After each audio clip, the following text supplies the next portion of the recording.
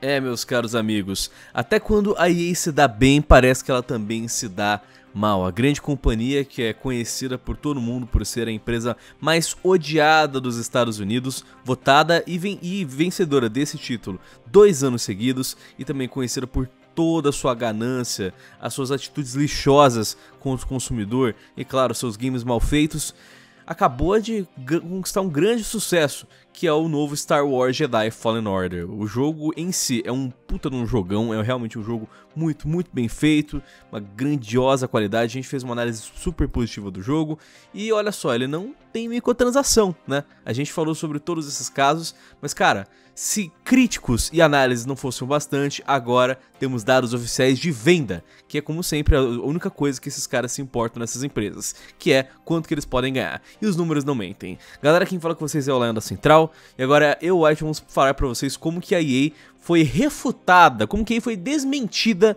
pelo Star Wars Jedi Fallen Order, que provou, de uma vez por todas, que sim, jogos single player ainda existem, ainda são muito fortes e sim, existe uma demanda muito forte, cara, na verdade, cada vez maior nesse mercado para a galera que quer jogar games como é, Red Dead Redemption 2, God of War, Resident Evil 2 Remake e tantos outros jogos single players incríveis que estão sendo lançados agora e que parece que a EA não quer aceitar, né? É, a EA já vem com essa política há bastante tempo, falando que agora todos os meus jogos vão ter que ter um, um, um multiplayer para eu continuar ganhando dinheiro ao longo do tempo, porque eu tenho que fazer receita, eu tenho que tirar até o último suco aqui desse jogo para poder é, sugar o consumidor. E o, o que eu fico apreensivo e eu queria que acontecesse é que a EA olhasse esses números de outra forma e não somente tá dando certo, mas sim de mudar a sua política daqui para frente. Só que é meio complicado, né? Porque a gente tem outras informações que sempre levam a EA a voltar nessa política de usar microtransações. Exato. Você vai entender essa história por completo, o porquê da gente pensar que talvez essa história não mude, né? Mas a gente torcer pelo melhor. E você vai conhecer todas as informações. Mas antes de mais nada, eu só convido você que está assistindo esse vídeo a se inscrever aqui na Central, clicar no sininho de notificações, assim você não perde nenhuma novidade, beleza? A gente posta dois vídeos por dia, um ao meio-dia, outro às sete da noite, então clica no sininho para não perder nada. E galera, é aquela coisa, né? Todo mundo tem um motivo para odiar a EA, né? Seja pela questão das microtransações, as loot boxes, os games fechados, os games de estúdios que eles fecham, né? Eles adoram fechar um estúdio quando o jogo anterior não vende bem. Então assim, a EA faz tudo possível para ganhar o seu ódio, né? Sim, é complicado que tipo assim, a EA comprou ao longo do tempo vários estúdios porque a EA sempre tinha muito dinheiro para investir nesses estúdios. E ela comprava os melhores. E aí usava esses, essas franquias, fazia os jogos. E aí quando o estúdio começava a piorar, ela ia e vendia. Então, tipo, pensa, os melhores estúdios da época eram da EA e ela depois matou eles. É isso. Exato. E, e é a situação que acontece, né? Eles vão lá, investem e não tem retorno que eles esperavam, decide fechar tudo em vez de manter e, e investir ainda mais nesses nesses estúdios tão criativos e incríveis, né? Mas é a EA, né? Mas assim, um dos motivos para a EA ser mais odiada é a maneira que eles estão vendo o mundo dos games, né? Eles como uma das maiores empresas do, do ramo da indústria dos jogos são também é, líderes quando o assunto é videogame e criação. E se eles tomam decisões de líderes que são contra o consumidor, dá nisso. O que aconteceu foi que uh, em 2017 o diretor financeiro da EA, o Blake Jorgensen, foi em uma entrevista e basicamente ele virou e falou que eles não pretendem fazer jogos mais single player, porque single player não é o futuro. Na entrevista, ele disse, abre aspas, continuava parecendo um estilo de jogo antigo, um jogo muito mais linear, coisas que as pessoas não gostam hoje como gostavam há 5 ou 10 anos atrás. O diretor executivo, né, o diretor financeiro, estava falando de um jogo de Star Wars que estava sendo feito pelo estúdio Visceral, que por sinal a EA fechou esse estúdio e cancelou esse projeto de, de Star Wars que era para ser um jogo single player, porque de acordo com ele, ele era muito velho era uma coisa linear. Por hora, a única certeza que a gente tem é que eles cancelaram o projeto e fecharam Sim. o estúdio que estava por trás do projeto, que era Visceral Games. Tudo porque os caras achavam que era muito linear, era muito single player. As pessoas não gostam mais disso tanto hoje em dia. E eles falam isso, não é porque isso é verdade. Sim, o mercado multiplayer cresceu muito. Sim, hoje em dia o online é quase que padrão. Mas ainda temos muita demanda por jogos single player. God of War tá aí, Spider-Man tá aí, a gente vê Red Dead, a gente vê Resident Evil 2 Remake, a gente vê Devil May Cry 5. Todos jogos single players maravilhosos. E aí, vendendo que nem água. E aí, como é que fica? Entende? Então, gente, nós sabemos que o que a EA falou é mentira. Mas eles não querem aceitar por quê? Porque eles acham mais interessante fazer games como serviço, né? Lá um, lançar o jogo todo cagado, tentar consertar com as atualizações e cada atualização que vem, vem conteúdo novo pago, vem loot box, vem skinzinha paga. E assim eles vão ganhando com as microtransações, entendeu? É conveniência deles, né? Sim. Eles não vão dizer que o single player é melhor, sendo que eles têm uma das maiores franquias que dá dinheiro para eles, que é o FIFA. Exato. O FIFA aí rende para eles bilhões e bilhões por ano. E você acha que eles vão falar assim, não, gente, o single player com certeza é o melhor. Não, eles vão falar o multiplayer.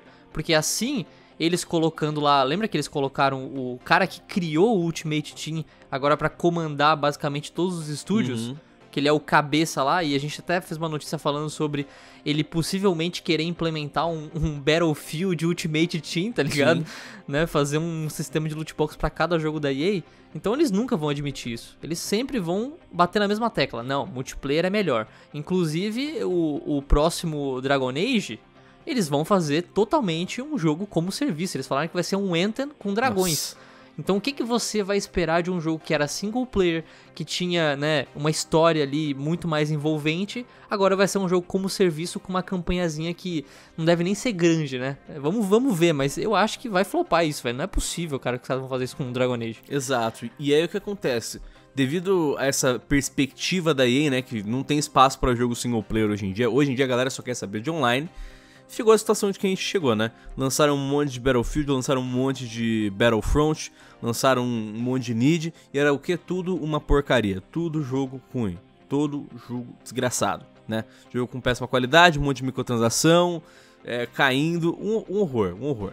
E agora a gente teve o lançamento de Star Wars Jedi Fallen Order, um jogo que foi rushado, feito pelos desenvolvedores de Apex Legends e Titanfall, que é a Respawn Entertainment, a EA virou e falou: Ó, oh, Respawn, é seguinte, eu preciso fazer um jogo de Star Wars para ontem, porque em 2020 acaba a nossa licença da Disney. A gente tem que renovar essa licença. Lança um jogo de Star Wars. Foi lá, deram dinheiro pra Respawn, deram um, um curto prazo. E a Respawn virou e falou: beleza, eu vou fazer o que eu quiser, então eu vou fazer um jogo single player assim, assim e assado. Saiu Jedi Fallen Order. Ninguém esperava Mesmo nada. com pouco tempo, os caras são tão bons que conseguiram fazer um jogo bom. Exato, véio. porque. Né? Estúdio, o estúdio trabalha tão bem, velho. A EA não esperava nada, a EA só queria lançar um jogo pra, por, por lançar, para cumprir tabela, entendeu? E o que aconteceu? Lançaram o Jedi Fallen Order e foi do caralho. A Respawn, como sempre, sendo um belo de um estúdio muito competente, incrível quando assunto é videogame, lançou esse jogaço. Desde Titanfall, né? né? Desde o primeiro Titanfall, exato. Titanfall 1, Titanfall 2, Apex Legends. Acho que Titanfall é uma das franquias aí mais como é que eu posso dizer, injustiçadas, tá ligado, do mundo dos uhum. games. Merece muito. Injustiçada pela própria criadora, velho, EA Games. Porque a EA é cagou o lançamento de Titanfall 2, senhoras e senhores. É. Então assim... Triste. É, a, a Respawn merece muito mais, sabe? Porque tudo que eles pegam, eles fazem um puta no trampo. E como se não bastasse as, as críticas, né, que a gente tava falando que o jogo é do caralho e tudo mais, também tá funcionando em questão de ganhos. Porque, como eu falei, esses, esses caras só se importam com dinheiro. Então vamos falar de dinheiro? Porque recentemente houve uma teleconferência dos resultados do terceiro trimestre com investidores da EA para falar sobre a situação financeira da empresa, né? E o que aconteceu foi que Star Wars Jedi Fallen Order vendeu, abre aspas, além das nossas projeções para o trimestre, foi além das expectativas da EA. E aí eles disseram também que o jogo, abre aspas, atingiu o topo de linha das vendas esperadas. Ou seja, ele superou todas as expectativas e bateu os marcos fechados, assim, travados que eles tinham é, pro máximo possível do jogo. É, eles, eles queriam, né, acho que 6 milhões de cópias né, vendidas e venderam bem mais que venderam isso. Venderam bem mais do que isso. Originalmente, a projeção era entre 6 e 8 milhões. Ou uhum. seja, se já bateu o topo de linha, já bateu 8 milhões de unidades vendidas, entendeu? E. Pode ser até 10, 11, a gente não sabe. Exato. Mas passou de 8. Está sendo projetadas que até o final do ano fiscal da EA vai ser 10 milhões de unidades ao todo. Ou seja, foi um puta de um sucesso de vendas também. Não só em, em, em análises, não só em, em, boca a boca, mas também em vendas. E é isso que esses caras se importam. Talvez agora que eles estão vendo que lançar um jogo single player com qualidade, com história, com uma ligação com algo que a gente chama que é Star Wars, dá bom e vende. Entendeu? Porque, por exemplo, isso daqui superou as expectativas. Mas em 2018, quando a gente teve o Battlefront 2, foi dito que o Battlefront 2 decepcionou a EA. Eles só, abre aspas, só venderam 7 milhões. Isso era uma decepção pelo que eles esperavam, mais, né? entendeu? Então, não, eu, eu, acho que a decepção também, né, foi pelo número de vendas, mas eu acho que a maior decepção deles foi a questão do multiplayer. Porque era um jogo focado em ganhar dinheiro com microtransações. Sim. Né? Então, a galera hateando o jogo, porque se você comparar o Metacritic do Star Wars Battlefront 2 com o novo agora, o User Score, que é os jogadores né, que vão lá e dar a nota, o Battlefront 2 está com 1.2 de nota e o Star Wars está com 7.9.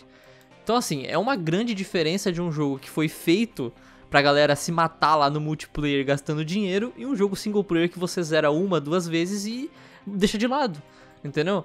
Então ainda as pessoas querem o single player e a EA acha que isso decepciona ela, né? Porque ela perdeu a chance de ganhar muito dinheiro com Battlefront. E, e, é isso, e mesmo cara. ela deixando de ganhar dinheiro com Battlefront, ela tá ganhando agora com, com o Jedi Fallen Order. Então assim, Sim. A, não só a EA, mas todos nós temos que entender que existe espaço no mercado, tanto para jogos multiplayer quanto para single player. Não tem que ser um ou outro tem demanda para tudo. Não é uma guerra, velho. É, então, dá pra a empresa lançar um pouco de tudo. Entende? Se a EA começar a perceber isso, vai ser bem melhor, cara. Vamos pegar exemplo de jogos de nicho. É, Dark Souls. Dark Souls, Sekiro. Mano, Sekiro ganhou o jogo do ano, velho. É um jogo de nicho. E a maioria de pessoas que não gostava de Dark Souls deram uma chance. Eu, por exemplo, não sou um cara que joga muito esse estilo de jogo. Joguei Sekiro e pra mim foi um dos melhores jogos do ano. Entendeu? Então tem espaço para todo mundo, velho. Não é simplesmente, ah, eu vou fazer aqui um multiplayer porque a galera só joga Fortnite agora. Não é bem assim. Você pega, por exemplo, tem franquias que foram feitas para ser single player. Vamos pegar o exemplo aí do Dragon Age. Você consegue compreender como que Dragon Age vai ser um, um bom jogo como serviço? Cara, não vai, velho. É simples, não vai. Eles falaram, eles falaram que cancelaram a história que ia ser com escolhas e tals para ser um jogo agora como o Anthem da vida. Pelo amor de Deus, velho, não se faz isso. Você não muda uma franquia assim da água pro vinho, tá ligado? Então, assim, a EA precisa mudar, velho. Precisa, precisa ver que a, a, solução tá na cara dela. Ela só não vê porque não quer. Exato, ela tem que começar a respeitar e, e, e, ver que dá sim pra lançar jogos single player. O problema é que, além disso, a gente tem essa outra notícia que também contraria essa perspectiva. Porque nessa mesma, nessa mesma teleconferência também foi dito que a EA faturou quase um bilhão de dólares só em microtransação. Né? Então aqui os dados a gente vê que, ó, quase um bilhão. Foram 993 milhões em serviço ao vivo.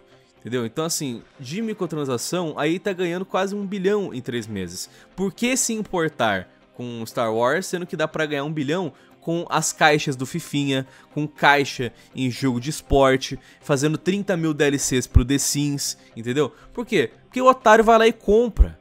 Entendeu? Muito gado, é. muita gente imbecil do FIFA, muita gente gado, muita gente imbecil do The Sims, muita gente gado imbecil que vai lá e gasta dinheiro com uma DLC super valorizada, entendeu?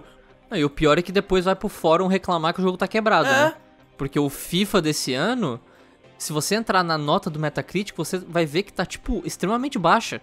Por quê? Porque o jogo veio quebrado. É o FIFA mais quebrado de todos, eu acho. Na moral. E aí o cara ano que vem vai lá, vai comprar de novo e vai jogar Ultimate Team, comprando caixa, fazendo jogador, e é isso. E aí é por isso que a EA, a solução tá na cara dela, mas você que financia o, o, as microtransações lá, você que compra isso, tá falando pra ela, não, assim, a solução tá aí, mas eu não quero que você mude não, porque eu, eu gosto disso, eu gosto de gastar com você assim. Eu gosto de apanhar, né? Ele, ele apanha, tem o jogo quebrado e parece que gosta, velho. E aí a gente chega naquela grande, né, famosa frase do Vaz do Far Cry 3. Você sabe qual que é a definição de insanidade? Hein, meu caro? Hã?